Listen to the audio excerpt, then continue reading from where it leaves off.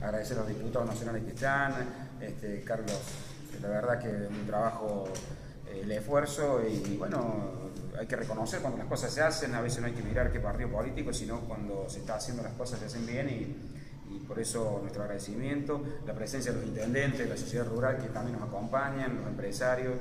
Eh, la verdad que muy feliz, no voy a negar que a veces uno es medio pesimista y dice, y es difícil, pero bueno, eh, están demostrando que las cosas se quieren hacer, este es el primer paso, eh, como debe ser, armar el proyecto.